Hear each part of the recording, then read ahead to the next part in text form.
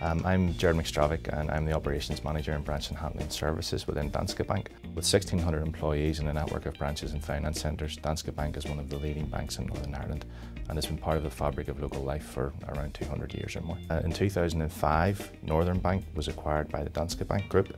In 2012, we took the opportunity to take our parent brand name. I chose to participate on the Emerging Leaders programme after a lot of thought and investigation into different options for further career development and study. It's something I've been looking at for quite some time.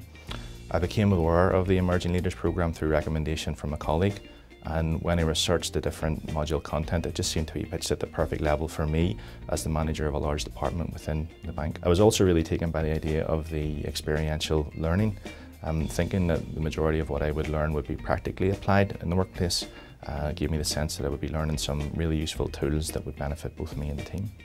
The engagement with participants from other sectors was a really unforeseen benefit and it gives you a unique opportunity for feedback and networking.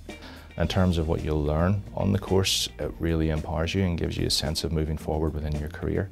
And although I feel this is the end of my participation on the Emerging Leaders programme, I also feel it's just the start of the next step in my development as a people leader.